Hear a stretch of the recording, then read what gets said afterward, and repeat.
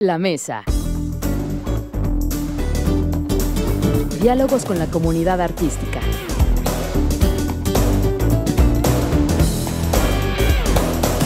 La mesa.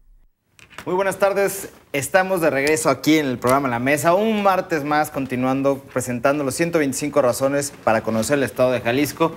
Hoy algo peloncito, pues eh, me, me perdí la apuesta del partido de México, no, no se crean, nada más me dio, me dio calor, cambiar un poquito el look, espero que, le- que les agrade. No, no, no se crean, estamos muy, muy, muy contentos de estar compartiendo una, una de las razones para conocer el estado de Jalisco.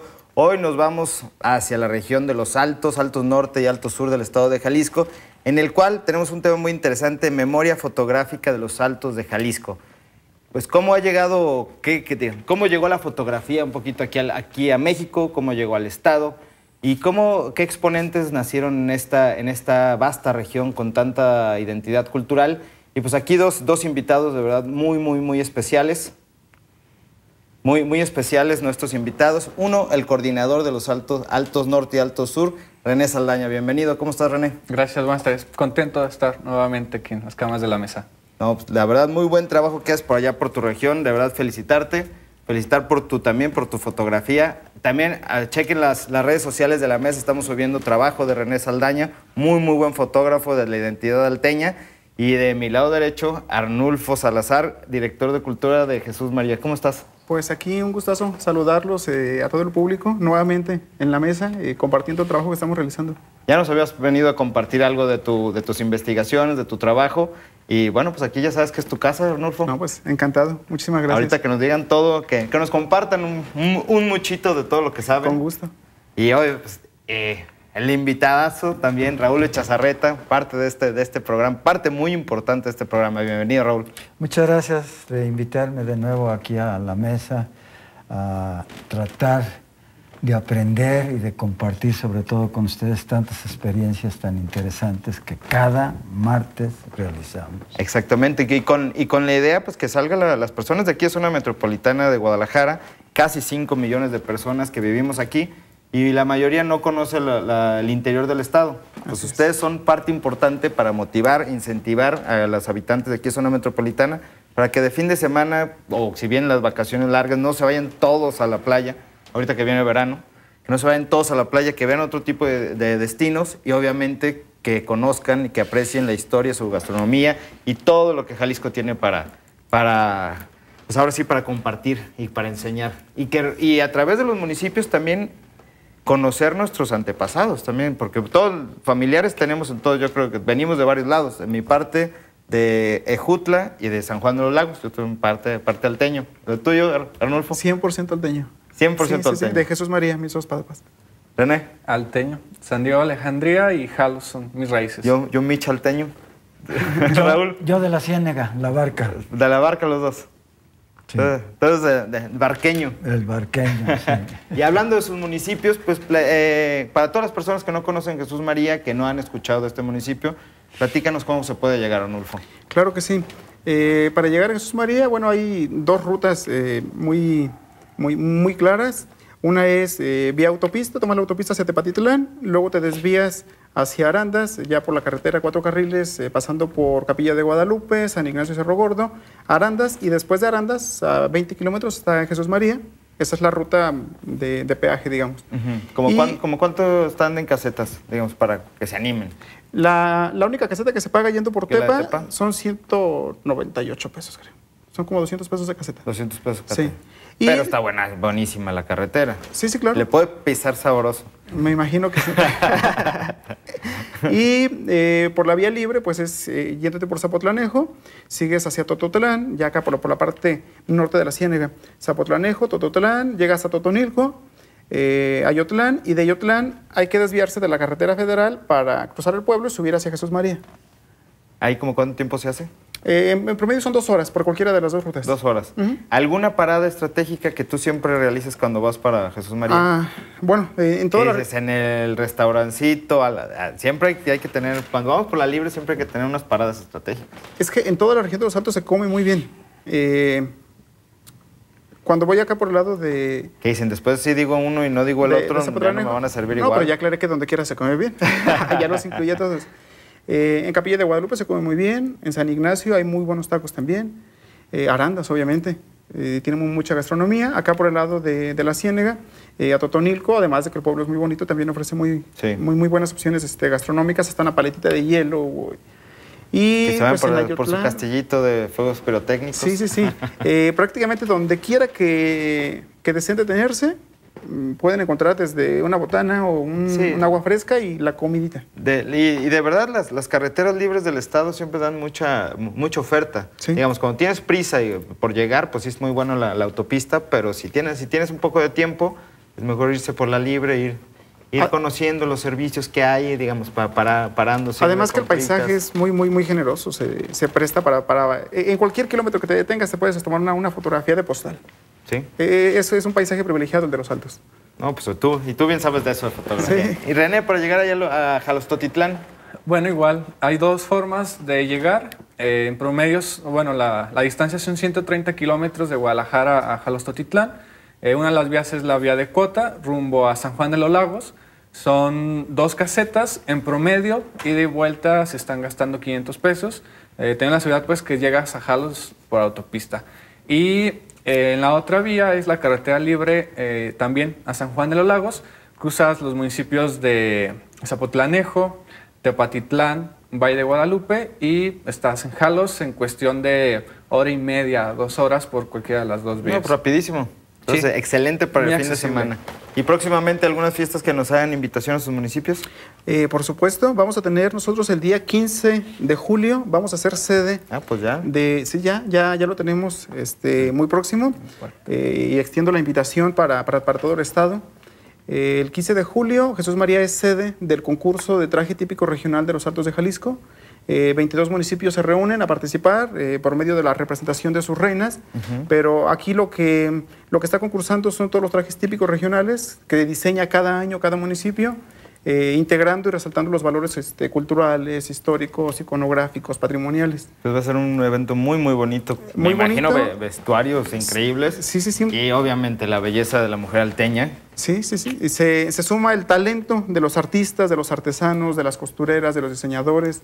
Eh, todo el talento alteño se suma a la belleza de las mujeres alteñas. Y justamente ahora que dices esto me lleva a generar esta pequeñita reflexión de que muchas veces pensamos que la actividad cultural no deja de rama económica, pero tú lo acabas de decir, decoradores, este, costuristas, el diseñador, todo eso pues ahí digamos es trabajo que se está generando y pago que se está generando por una actividad cultural Exactamente. y que es una mues- muestra de, de vestuarios. Sí. Porque muchas veces dicen, no, pues la actividad cultural no genera recursos. ¿Cómo no? Para generar un evento tú tienes que tener muchos proveedores y esos proveedores, pues, es- son todas estas personas que, que- que te llevan a tener el producto. Sí. Siempre ha sido una industria la cultura. Exactamente. Sí, Como cápsula. Como cápsula. Sí, entonces, eh, pues invitarlos a este evento. el 15. El 15. ¿A qué hora? Eh, a partir de las 8.30. Son 22 municipios, Altos Norte, Alto Sur. eh, Domingo. Sábado. Ah, Sí. sábado 15. Y las, las dos regiones de los Altos nos sumamos, eh, ahora sí que a celebrar la identidad alteña. Eh, este año quisimos darle un giro y que haya un, un tema integrador. Estamos haciendo un homenaje al rebozo alteño. Que cada municipio haga una especie de, investigación o de, recuperación histórica respecto a los usos y costumbres del rebozo.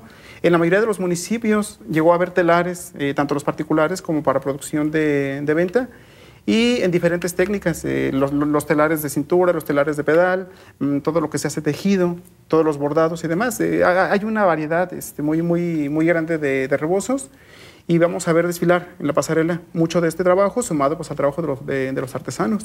Exactamente. Y vamos a tener como... Eso nos los puedes pasar para también nosotros subirlo a nos- nuestras redes sociales Sí, y también toda la, toda la audiencia pues esté más al pendiente y pueda estar por allá y, y saludar. Ah, Nolfo, yo te vi allá en la, Sí, sí, claro. en la mesa. Sí, claro, si con si eso. te dicen eso, pues le tienes que dar ahí mínimo un- una paletita de cortesía. No, la, la- la- la botella de tequila. Tú, René, al- algo que nos invites a Jalostotitlán para que aprovechen. Bueno, Jalostlanes tiene las, eh, está en puerta de las fiestas de agosto que están dedicadas a la Virgen de la Asunción. Se llevan a cabo del primero al 16 de agosto. Es una tradición que lleva ya tres siglos desarrollándose en Jalos y bueno, es una de las fiestas que dan mayor arraigo e identidad a los hijos que radican en Jalos como a los hijos ausentes. Es el punto de reunión de todos anualmente. ¿Sí? Entonces, ¿y qué, cómo, cómo, cómo nos describirías un poquito la fiesta? Bueno, hay, hay para todos los gustos. Eh, las fiestas son propiamente religiosas, pero en torno a, la imagen de la Virgen de la Asunción se desarrollan actividades culturales, de, exposiciones, eh, las ferias, eh, presentaciones artísticas. Eh, para la gente que le gusta fotografiar las tradiciones, bueno, hay Sí, peregrinaciones. como a mí. Hay, de todo, eh, desde las mañanitas, que es levantarse a las 5 de la mañana, ir a la primera misa, salir de misa y luego irte a la tradicional cantina Casa Verde, que es la cantina más antigua de- del pueblo, a tomarte una canelita con rompope, que Allá es toda desde una la tradición. mañanita. Desde las 6 de la mañana la Ándale. cantina está abierta.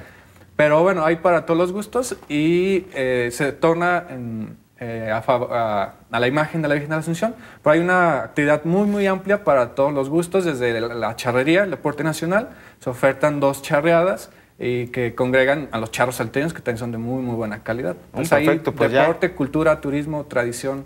Ahora sí, no hay, no hay por qué no ir a Jalostotitlán ni a Jesús María. Exacto. Pues nos vamos a ir al primer corte de este programa. Recuerden que tenemos el tema Memoria Fotográfica de los Altos de Jalisco y les quiero comentar que traemos regalos. Regalos, tenemos cuatro libros.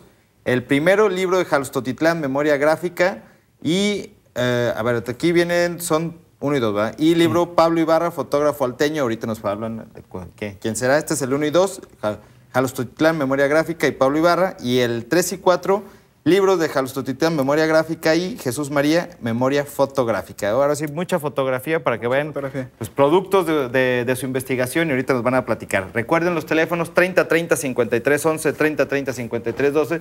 Y los invito a seguir nuestras redes sociales, Facebook, La Mesa TV, Twitter, arroba La Mesa TV, para que también conozcan todo lo que estamos subiendo, todos estos detallitos. Estamos realizando algunas dinámicas, también tenemos Instagram y también estamos presentando a- al equipo de la mesa para que conozcan a todos el perfil de estos profesionales que hacen posible este bonito programa. En un momentito regresamos con la mesa.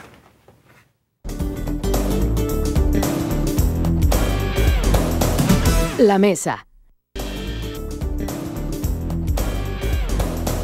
La mesa. Estamos de vuelta en el programa La Mesa con la memoria fotográfica los Altos de Jalisco con René Saldaña y Arnulfo Salazar, los dos de los, al- los dos salteños. A ver, 100%. platíquenos un poquito. Ahora sí, este contexto, René, ¿cómo, ¿cómo es que llega la fotografía a México, digamos? Esto se da en, en Europa. Esto En se, Francia. Se, se da en Francia. Pero a ver, platícanos cómo es que llega a México y de ahí en México para acá, para Jalisco. Bueno, en, en Europa se da ya lo que conocemos como fotografía entre una disputa entre Londres o Inglaterra y Francia, que ellos fueron los que desarrollaron los estudios en torno a la luz, a los soportes fotosensibles, el material fotográfico.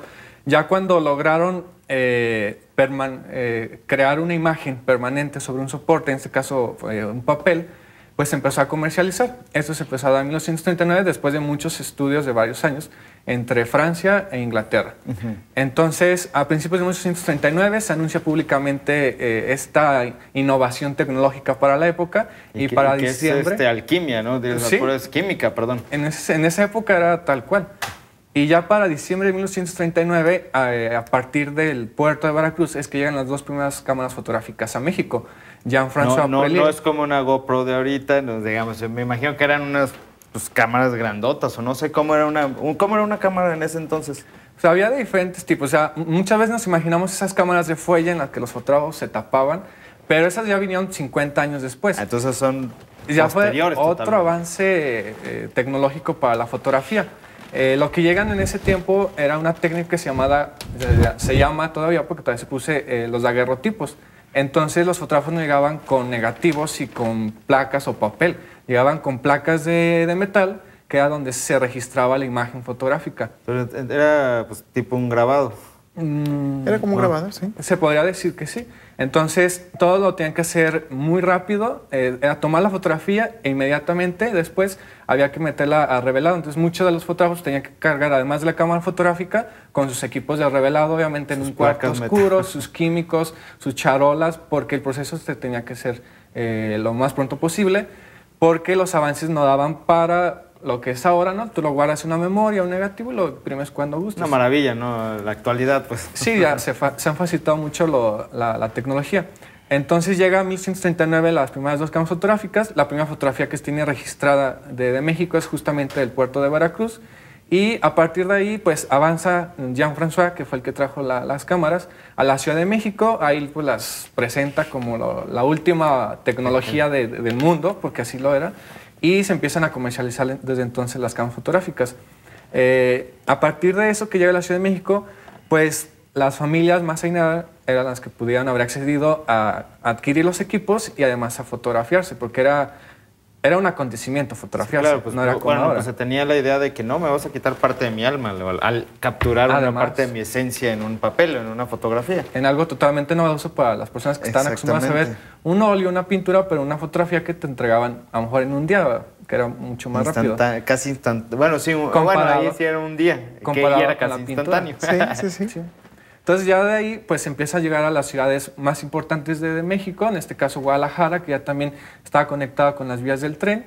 Y bueno, aquí en Guadalajara te puedo hablar de uno de los fotógrafos más importantes que, estuvo en Jalisco, que es de Atequiza, Octaviano de la Mora, y que fue uno de los fotógrafos más reconocidos del siglo XIX, no solamente en Jalisco, sino en México, y además tuvo varios reconocimientos, medallas de oro en las exposiciones de París. Entonces, a esa calidad llegaron los fotógrafos de Jalisco. Y bueno, ya estaba como ampliándose un poquito más eh, la fotografía o el tema de la fotografía en el Estado. Eh, en torno a lo que respecta a los Altos de Jalisco, que es el tema que, que tratamos hoy, las primeras fotografías que están identificadas son un daguerrotipo que data aproximadamente de 1869. No fue tomado en Jalos, debió haber venido una de las familias más adineradas de- de- del municipio Los hacendados ahí. a, a Guadalajara a registrarse. Es una fotografía que mide 4 centímetros de, alto, es un daguerrotipo, es una placa de aluminio. Y bueno, a partir de ahí ya se empieza a, comercial- a comercializar un poco más. Con estos avances tecnológicos empiezan a surgir nuevos métodos de, impresión fotográfica que hacen más accesible y más rápida la, fotografía. Eh, llega eh, la técnica de la albúmina, eh, las técnicas del papel salado, la plata sobre gelatina y empiezan a aparecer los primeros fotógrafos ya en los municipios o fuera de las ciudades importantes. En esos entonces, entonces sí hubo exponentes alteños, fotógrafos. Ya a principios del siglo XX. Eh, Este personaje que comentas, Octaviano de la Mora, fue a, los altos de, de- de Jalisco a, a promover la disciplina, a enseñar la técnica.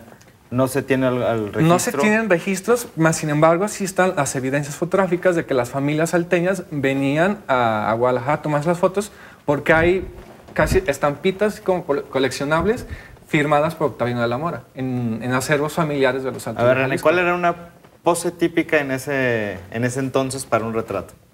Bueno, va- pu- hay, hay varias, pero una de las características era que la gente salía muy seria y eso se debía a que las exposiciones de- para fotografiarlos eran exposiciones largas. No es como era que en milésimas de segundos tomas una foto.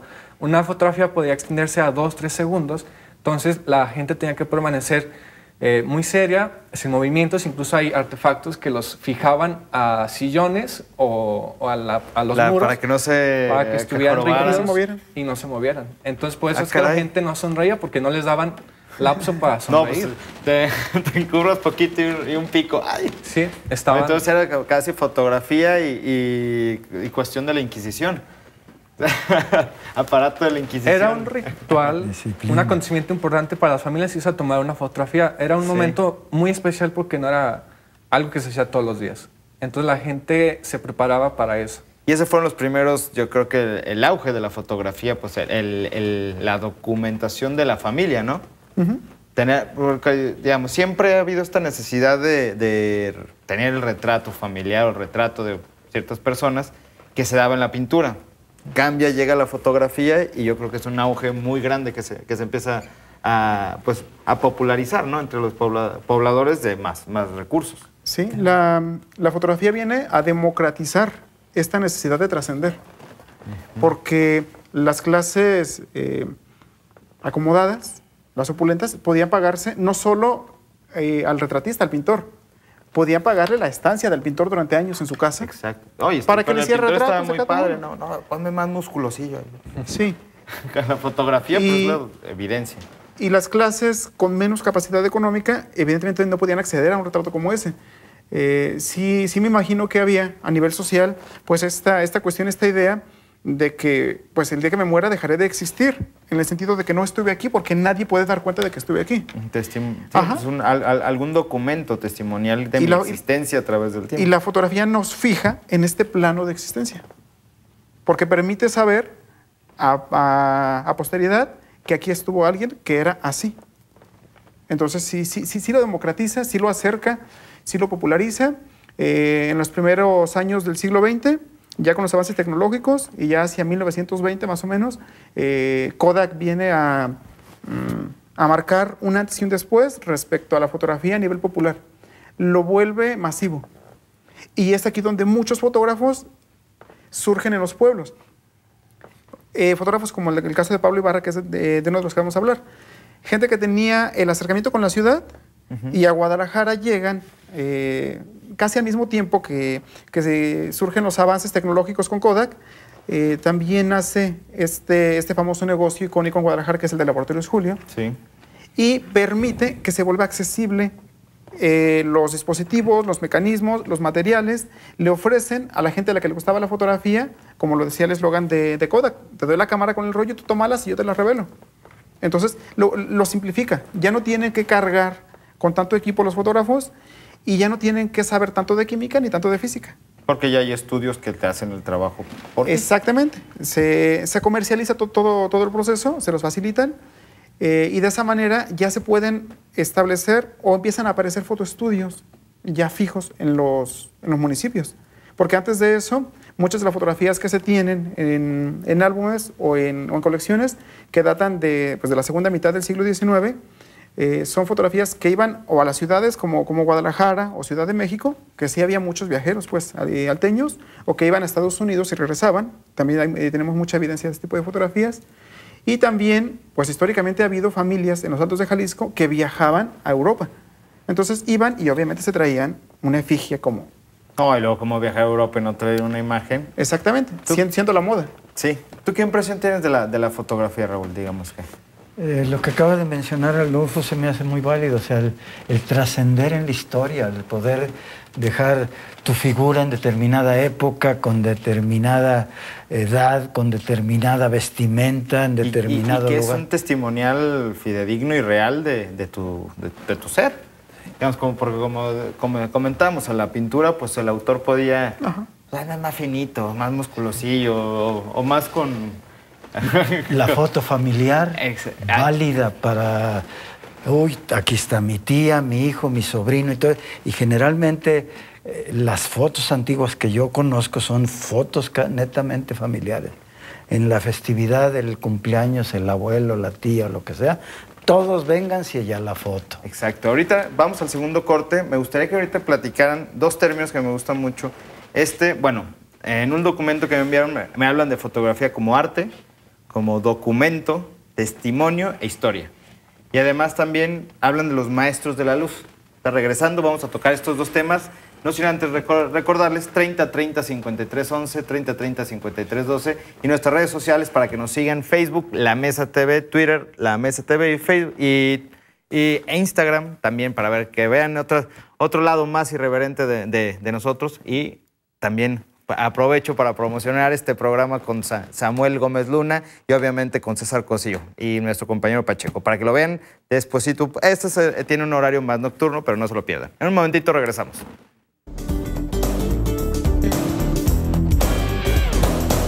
La mesa. La mesa. Estamos de vuelta en el programa La Mesa TV con la memoria fotográfica de los Altos de Jalisco. De verdad, para invitarlos a que vayan a los Altos de Jalisco y váyanse armados, pero con su cámara.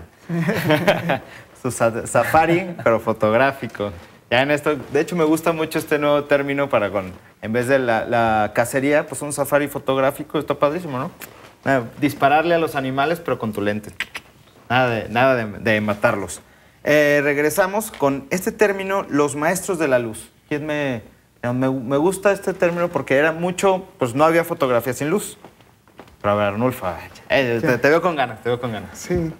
Eh, bueno, la, la referencia que nosotros hacemos en varios de los documentos que hemos este, trabajado en conjunto, eh, René, yo y otros compañeros, mm, mencionamos el, el concepto del término de maestros de la luz en referencia a esto. Siempre ha habido, de- de- de- desde los inicios ya formales de, la fotografía, siempre ha habido aficionados y ha habido profesionales. Y, y por profesionales queremos entender aquellos que no solo lo entienden y lo hacen, sino que proponen avances Sí. y que, que logran un nivel eh, técnico y estético suficiente para que las fotografías se conviertan en documentos históricos. Exactamente. ¿sí?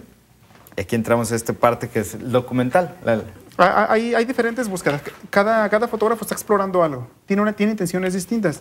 Eh, muchos se han ido por la, por la, por la cuestión estética. eh, eh, eh, esta idea de que con la fotografía también se generan lenguajes visuales apegados al arte. Entonces, eh, su discurso es un poquito más profundo, más filosófico, pero también ha habido los fotógrafos documentalistas, los fotógrafos de la vida diaria, que dicen algo está ocurriendo que se debe registrar para que el futuro nos ayude a entender qué ocurría. Entonces, la- la- las fotografías, desde su origen, tienen una intención muy clara, eh, según quien las está creando y para los fines que, que este tiene. Y, y sobre la marcha del tiempo van cobrando valor eh, como documentos históricos, como piezas de arte. Eh, nos ayudan a entender o la filosofía o, o el espíritu creativo, Usos y costumbres. usos y costumbres. em, nos ayuda a recrear un paisaje que nosotros ya no conocemos y, y- y que en consecuencia podemos entender también parte del, del presente. Entonces este concepto de maestros de la luz eh, lo hemos utilizado haciendo referencia a, a aquellos fotógrafos que dedicaron en, en- en cuerpo y alma y que lograron una evolución eh, personal, técnica y estética. Y, y al hablar de, digamos, en la luz como técnica, de- como técnica, René, digamos, esta era pues parte importante, ¿no? Saber manejar la, la luz del día, digamos, la luz artificial. Eh, pero aquí tú, ¿cómo, ¿qué nos podías ampliar sobre este, este tema de la luz? Bueno, lo comentamos hace un momento, la luz viene a ser la materia prima de la fotografía. Eh, siempre se, han, eh, se ha grabado la imagen en soportes eh, visuales, en este, en este caso, por ejemplo, la, la pintura, y la fotografía viene a marcar otro, otra forma de recrear esa realidad en la que siempre hemos estado inmersos en, en nuestro contexto. Cada época, cada año es, es muy diferente. Entonces, en cuanto a técnica, pues desde que se creó en 1939, los investigadores, los estudiosos de la luz, siempre han estado pues innovando para perfeccionar la calidad no solamente técnica, sino también estética, que van muy de la mano y que es donde cobra mayor valor la imagen fotográfica. Eh, antiguamente no existía el Photoshop como lo existe ahora, entonces eso le Otra de exigía las maravillas de, un de doble este trabajo, siglo. un doble conocimiento y eh, le exigía al fotógrafo pues conocer de química, de, mm, tecnología fotográfica y pues también de, arte, ¿no? Las poses, eh, los vestuarios, el contexto que había en esa época. Eh, realmente la fotografía digital ha venido a facilitar las cosas, pero en, en muchos casos, no en todos, En ese entonces no había filtros ahí, ahí, ahí ponle el, el tal. había Fresh. sus, había sus trucos en el Siempre cuarto oscuro, siempre los Siempre ha había. habido. Siempre Sí, había sí, sí. truco. Hay fotomontajes desde principios del siglo XX. Eran fotomontajes que se hacían en los cuartos oscuros. Entonces, eso, eh, Photoshop vino a facilitar el trabajo de todos, pero realmente el, el fotógrafo que se desarrolló en un cuarto oscuro y que logró la perfección ahí, tiene un doble mérito y un doble valor, que es lo que le llamamos los maestros de la luz. Por ese Entonces, un doble- fotógrafo que no sepa trabajar con la luz, no, la, no, digamos, no va a tener un gran trabajo. Es que actualmente muchos, y esto lo digo a favor de los que de verdad se han preparado Ujú, Sí, sí. en, en- en- en- en Sí, la luz, porque yo puedo agarrar mi celular y puedo tener, Sí, pero, pero tengo muchos mucha de los que hacen ayuda. fotografía la hacen ya en la computadora. y, y si bien es cierto que es una herramienta y que no la vamos a desdeñar, es muy valioso, to- to- todos los avances tecnológicos, pero esta cuestión del aporte de la luz dejaron de entenderlo por- para, para fijarse completamente en un, en un programa, eh, descargas el archivo y ahí la, la, la reconstruyes. Entonces, no, no eran las formas en las que crecimos, algunos de nosotros, o en las que lo aprendimos. Eh, este tema de la luz es tan importante como que no hace, todavía hace 30 años, todavía hace 20 años, en algunos fotoestudios, eh, sobre todo en los pueblitos, si se quedaban sin luz y urgía entregar para mañana unas fotografías de, de identificación, ahí estaban revelando con la luz de las velas. Y eso era entender la luz. Exactamente, sí. Y, y- y si estaba nublado, entonces ya sé qué efectos me da y cómo puedo compensar. Y si la luz está completamente dura a mediodía, entonces vamos a poner lo- lo- los difusores y así sucesivamente. Entendían el proceso de... eh, y no solo la luz del sol, insisto, con, con la luz de las velas, así en los revelados. Y, y, digamos, un consejo que le puedas dar a la audiencia, digamos, digamos, que son aficionados, que les gusta tomar fotografías, ¿qué hora del día, luz natural, es la mejor para tomar fotografía, digamos, paisajística? Es que depende. eh, siendo luz, yo creo que yo creo que toda imagen parte de una intención. No hay hora mala. Hay malos procesos. Sí, que quieres proyectar también. sí, sí, sí. Eh, porque a lo mejor puedes estar, según lo que algunos opinan, puedes estar en la mejor hora o en la mejor posición. Pero si no tienes clara la intención y si no conoces la técnica más la tecnología y no traes un, una intención narrativa clara, no va a funcionar. Exacto. Eh, porque todos los días vemos fotografías de fotoperiodistas que a cualquier hora, en cualquier lugar y bajo cualquier circunstancia generan buenas imágenes. Pero, es gente que conoce. ¿sí? Exactamente. Entonces, yo no lo dejaría a una hora, sino, a, la Sino a la intención. a la capacitación que has tenido y a la intención, que sea clara. Exactamente. ¿Ti, Raúl, no te dio en todas tus etapas de, de- de- de tu paso a través del tiempo ser fotógrafo? Sí. Porque eh, ya es- fue- eres, eres eh, cabal, Yo creo cabalgas. que es, es un, un- un arte y sentirte artista, el poder lograr que de tus ojos llegues a una impresión y logres un algo, como lo mencionó ahorita Arnulfo, un detalle, un, un algo muy único, te pues, sientes que, que estás dejando algo para tu historia, o sea, Exacto. un álbum. En tu casa eh, casi no tenemos la eh, este, película ni nada, todo es fotografía. Hay cerca de 15 álbumes, eh, 20 de este Y además que es, que es mucho más eh, bello y nostálgico agarrar un álbum a través de las imágenes que nomás pues un video y ver, digamos, pues ahora sí imágenes reales. Es mucho más bonito porque te da más, más nos- nostalgia, ¿no? Y te da otros, otros recuerdos. Y hablando, justamente me imagino Pablo Ibarra, que en este trabajo que están, que está, que están presentando sobre esta memoria gráfica, pues yo creo que él entendía muy bien la luz para, digamos, generar estas, estas imágenes con los avances tecnológicos de esta época. Pero a ver, platíquenme más sobre este exponente de, lo- de los saltos. Eh, Pablo Ibarra, Tenemos fotógrafo. Ah, ya, están compartiendo algunas de las imágenes ahí en, en- pantalla. Pablo Ibarra es indiscutiblemente uno de los fotógrafos eh, más importantes, me voy a atrever a decirlo, de la zona occidente del país. Eh, no solo de los Altos, sino solo de Jalisco. Eh, por la cantidad y por la calidad de imágenes que, que produce y lo que la variedad temática de estas imágenes le aporta al conocimiento y a la reconstrucción de, de una historia de, de Occidente mexicano, no, no, no nada más de, este, de, la, de la región de los Altos. Eh, él inicia aproximadamente sus acercamientos con la fotografía son aproximadamente para, para 1920, 1921, en visitas que hacía a Guadalajara eh, como uno de los sirvientes de, de los dueños de la hacienda de Guadalupe en Arandas. Y él conoce precisamente en una vitrina, ve este anuncio de Kodak y dice, tú nomás tómala y nosotros te la revelamos. Se compra una cámara, se compra a la par un curso por correspondencia.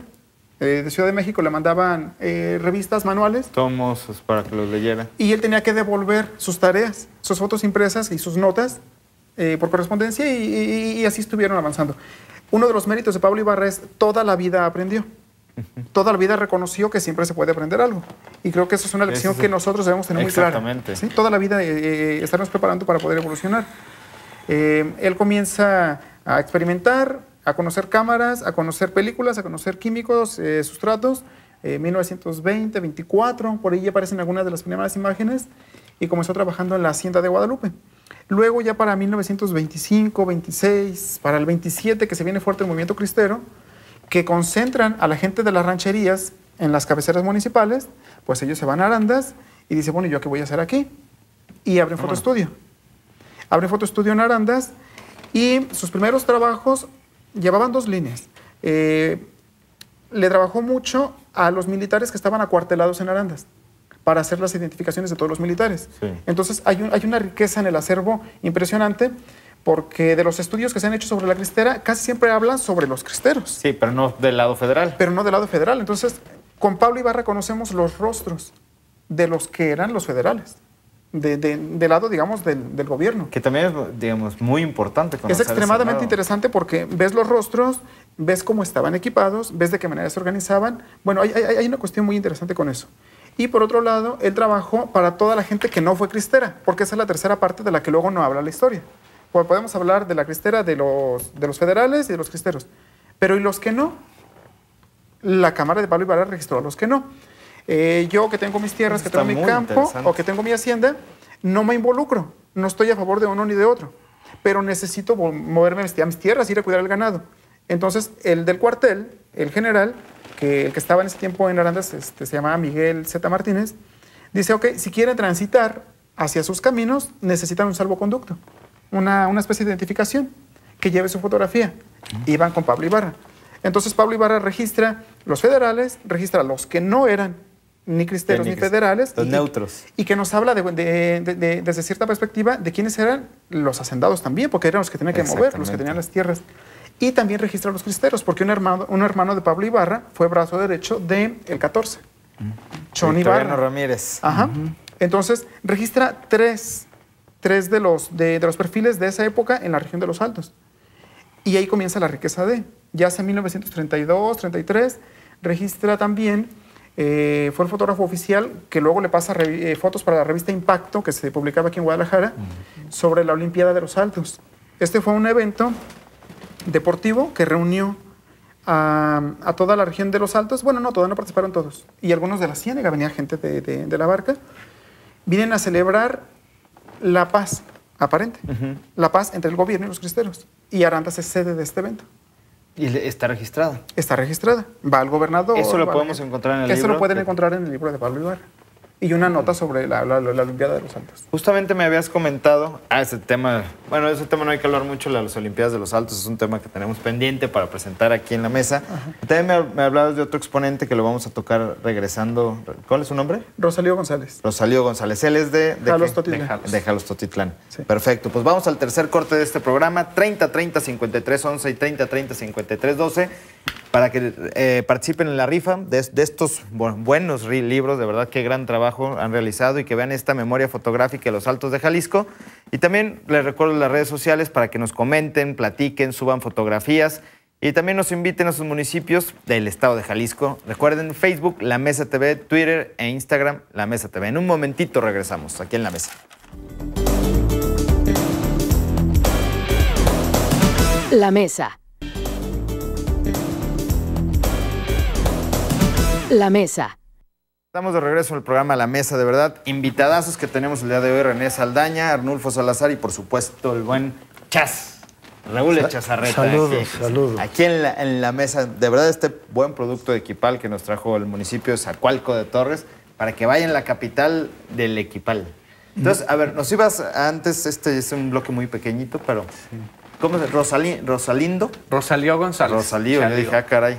Chalío, Chalío, mejor Chalío. dejémoslo en Chalío. A ver, platícanos de Chalío. No, es otro de los grandes exponentes que hemos identificado en esta búsqueda que hemos eh, hecho Arnulfo y yo desde ya hace ocho años en la región de los Altos. Aunque no tiene la misma cantidad, aunque no hemos encontrado esa cantidad de archivos que están catalogados y clasificados en el caso de Pablo Ibarra, que tienen alrededor de 80 mil placas y negativos eh, allí en Arandas, eh, Rosario González sí dejó un acervo que desgraciadamente no se ha logrado encontrar al 100%. Hemos identificado en las familias su firma, su sello, y bueno, esto habla de un artista. Él era un creador en todo el sentido de la palabra, porque él inició como pintor. Entonces desarrolló la pintura en la región de los Altos y en el país de una manera muy, muy ejemplar que se Yo creo que le da una perspectiva muy interesante. Sí, entonces A esa, esa visión que tiene hacia la pintura, luego la, también la traslada hacia la fotografía y se complementan la foto con la pintura. Y luego viene otra parte muy importante en él que era eh, su faceta de diseñador.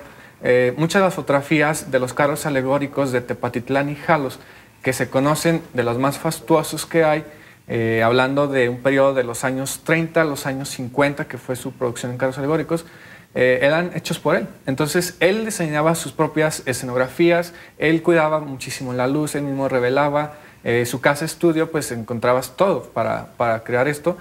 Y bueno, ya ahora lo que hemos eh, estado buscando es en las familias ese acervo. Desgraciadamente no me lo voy a encontrar, pues las placas, los negativos de arquitectura, de registro social, de las fotos que iba a tomar a las casas de las haciendas y las familias adineradas del pueblo, porque lo mandaban llamar a tomar fotos en las casas. No iba la gente toda al estudio. Ellos lo mandaban llamar.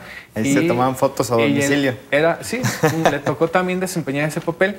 Y bueno, En Jalos, el colectivo que está desarrollando este proyecto de la memoria fotográfica justamente se llama Rosalío González, en honor a este legado, a esta identidad que nos dejó a través de, sus imágenes. Sí, oye René, entonces este pues es un trabajo pues social y de investigación totalmente para recuperar todas la- la- la- las imágenes de estos dos fotógrafos y los y las familiares o la, la gente se vuelve pues una so- socio importantísimo para lograr eh, pues, cómo es el acercamiento si es fácil acercarse con estas familias que te abran la puerta de su casa que casi el ropero y que digan mira pues aquí tenemos esto ah, búscale. No creo que sea así.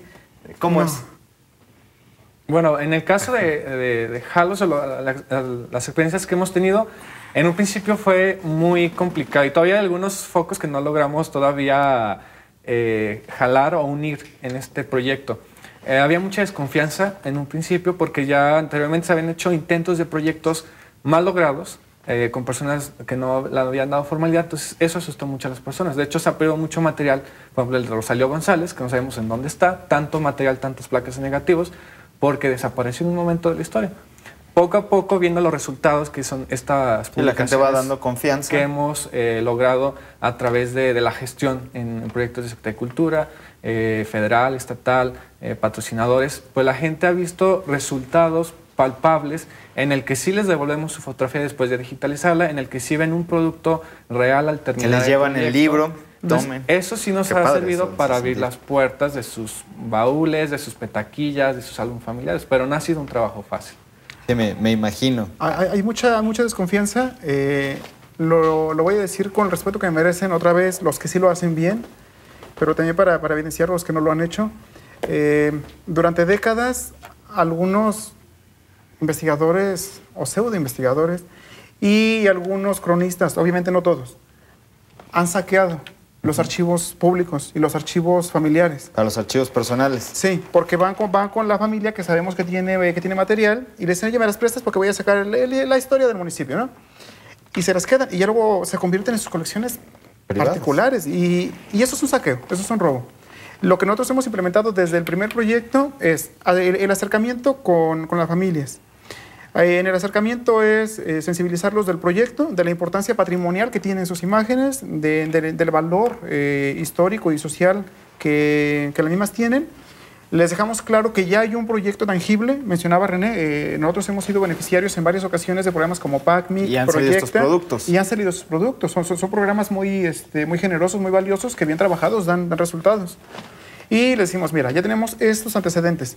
Y la dinámica es, con la, con, la, con la cita previa, nosotros llegamos, un equipo de tres o cuatro personas. Yo empiezo a entrevistar a la persona, eh, nos muestra los álbumes, seleccionamos según lo que estemos buscando.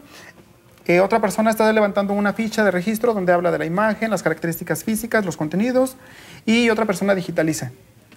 Eh, tenemos una sesión de varias horas, nos llevamos varios archivos, pero la imagen nunca salió de su casa. Es, es un, Y yo es- creo que incrementa la Y eso gana confianza, gana Exacto. credibilidad y eh, de esa manera más personas se animan. Porque entonces ya cuando yo les digo, mira, puedes preguntarle a la familia tal o puedes preguntarle a fulanito, esto es lo que he hecho y que él te dé referencias. Porque además en los pueblitos todavía funcionamos así. Sí. Sí, si yo le digo, voy pregúntale a doña Mari, doña Mari le dice sí o no. ¿Sí? De- justo aquí hay una llamada que dice, yo tengo fotos originales de la familia Cuervo tomadas por Octaviano de la Mora en su estudio. Agarra, ya salió un- En su estudio que tiene en Guadalajara ya en 1870. Me encantaría mostrarles este material. José Ignacio Cuervo Gutiérrez nos, nos llama. Aquí les, bueno, les voy a dejar el teléfono aquí a, a Arnulfo y a René para que se comuniquen con- contigo. También eh, de María Rosso de María Rosas de Tere. Está muy interesante las fotografías y el programa. ¿Es posible invitar a Meca, Jalisco? Pues, Raúl, lo tenemos siguiente degollado. Degollado y luego a siguiente Meca. En dos martes ya tenemos aquí a, a Meca de la región Valles. Muy interesante la temática de los altos y qué bueno que la gente conozca más a través de, su- de los libros y la fotografía. Este es un comentario de Héctor Montaño, un amigazo. Héctor, ya sabes, un gran abrazo. Javier Torres González dice, ¿qué papel jugó Jalostotitlán para la cristiada? Pues muchas facetas. Hubo desde eh, que fue sede de un regimiento de cristeros, así como de personajes que jugaban del lado de los federales. Históricamente podríamos hablar que en los altos todos son católicos, que fueron cristeros, pero Pero también los de hubo Halo, federales. los de Halo son la doble cara. Pues hubo algunos personajes que se inclinaron hacia la balanza de los federales. En este, en este, en este trabajo que, tienen, que presentan ustedes, muestran, yo creo que todos, parte de todos estos sucesos históricos, parte de la, de la usos y costumbres. ¿Dónde lo pueden encontrar, digamos, si no son beneficiarios en esta, en esta rifa que vamos a hacer en este momento? ¿Dónde los pueden encontrar? El, el libro de Pablo Ibarra lo pueden encontrar directamente con la señora Berta Ibarra, que es la hija de, de- de Pablo, que es la que mantuvo eh, activo el, el fotoestudio hasta el 2008 y que actualmente es la, la depositaria de- de- del archivo. Eh, lo pueden encontrar con ella ahí en la calle Colón número 20 en Arandas, en pleno centro. Y, y, bueno, puede, hasta platican con la señora. Lo pueden encontrar también con un servidor este, en el Museo Tlateli de Jesús María, que también los invito a que lo, a que lo visiten, a que lo conozcan. Entramos desde el año pasado en un, en un proyecto de centro de documentación dentro del museo y hay una sección donde van a encontrar mucho material impreso, fotográfico, además de los libros para consulta y para venta. Eh, y con esto aprovecho para decir pues que los proyectos no han quedado únicamente en los libros ni únicamente entre, entre pocas personas, ya han servido como fuente de información para otros investigadores. Exactamente. Ya otros libros eh, se han nutrido de, esta, eh, de estas imágenes. En los museos ya son parte del guion museográfico. Eh, ya, no, ya no solo es decoración la fotografía, ya es un documento que se lee como tal. Claro, pues aquí, de hecho, me gustó esto del- de, la información que nos enviaron, preservar el patrimonio que no es común y de esta manera lograr una trascendencia como sociedad en nuestra historia. Sí. Entonces, gusta- si me gusta mucho visiten esto. Jesús María, se come muy bien. El Museo de la Tele, además de que está muy bonito y está creciendo el proyecto, eh, también ya tiene este centro de documentación, tiene su mini fototeca. Y justo encuentran esta, pregunta que hacía Raúl, eh, échatela, échatela en vivo. No hay un museo de fotografía. Sí, preguntaba yo si de toda esta referencia de los altos y en general de toda la República, ¿hay museos de fotografía Sí, que y específicamente con ustedes? Yo creo que sería, sería un gran proyecto. Eh, a, a nivel nacional sí hay, sí, sí hay varios museos que se dedican específicamente a esto. tener nuestro en Jalisco, en, Ciudad, los altos. en Ciudad de México está el Museo de la Fotografía, está el museo también, eh, el Museo de Sitio en la Fototeca Nacional en Pachuca. Este, y bueno, hay algunas fototecas. en Jesús María. Y estamos, estamos en proceso. Estamos en proceso. Hay un proyecto regional que tenemos ya casi 10 años trabajándolo. Son, son, son proyectos largos y que involucran, este, obviamente, pues mucho tiempo, eh, mucha planeación y sobre todo recursos. Exacto. Eh, pues ya nada más, nada más estamos esperando que Secretaría de Cultura nos diga No. ¿Cuán- ¿Cuándo y con qué? ¿Cuándo y Se con nos qué? va el tiempo.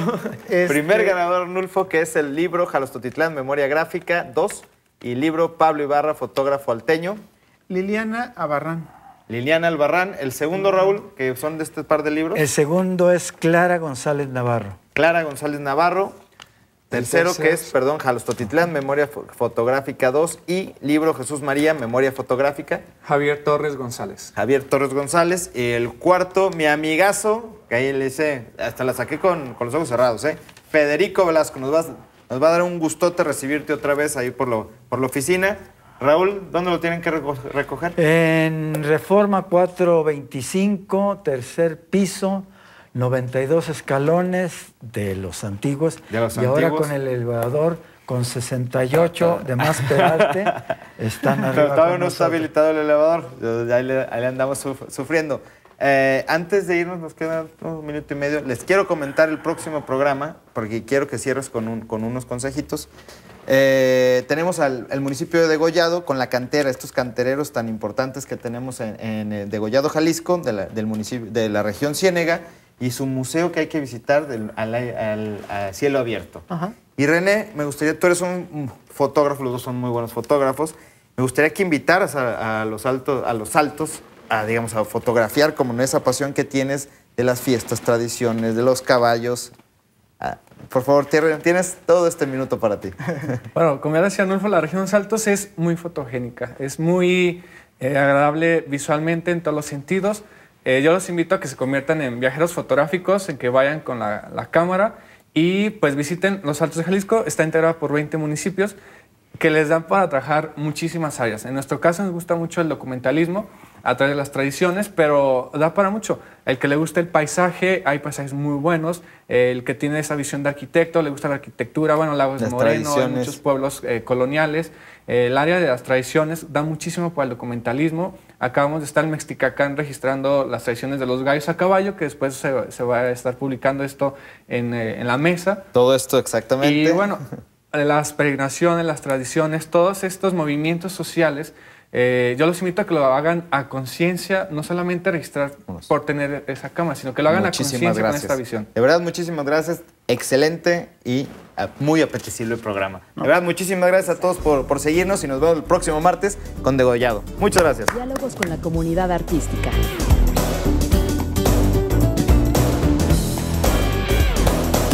La mesa